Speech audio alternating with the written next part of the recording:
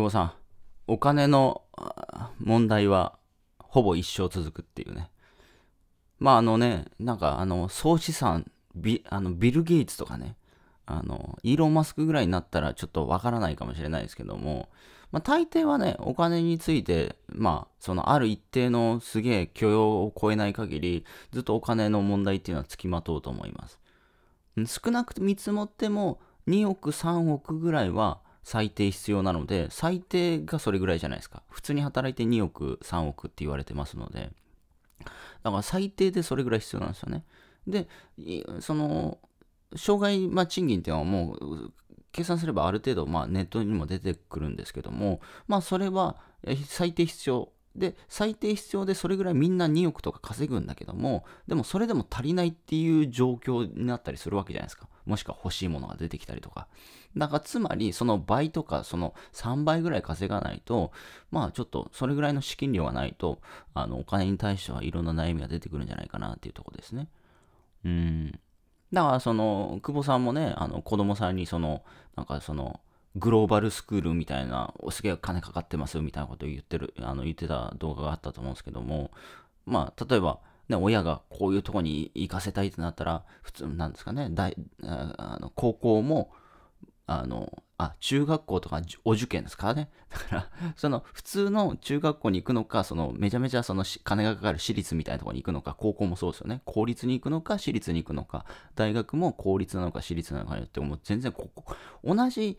中学校、高校、大学とかね、同じ幼稚園なのに、全然金が変わってくるっていうね。だから求めれば求めるほど金はかかるしって話で、だから結局お金の問題って付きまとうわけじゃないですか。本当に莫大なある程度の金持ってないと。だか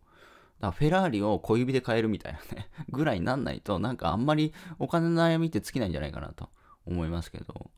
だから結局そのね、諦めたとしても、何が言いたいのかっていうと、ネットビジネス諦めたとしても、お金の問題は解決してないってことですね。そう。だから、そのお金の問題の試合は終了できないってことですよね だから一回ね、僕は、僕、すごい好きな言葉があって、成田さんっていう人がね、あの、言ってた言葉なんですけども、あの、い、あの、コスパっていうのは、生きてるのが一番コスパ悪いよっていうことをバッて言ってて、僕はハッとしたんですけど、この人、すごい、もう、キレキレだな、みたいな。みんな、要は、みんなコスパコスパとか言うわけじゃないですか。いや、そもそも、だからそ、そのコスパ、これがコスパがいいとかみんなが言ってるから、そこに対して、なんか多分言ったと思うんですけど、いや、そもそも生きてるのがコスパ悪いんだよ、みたいなね。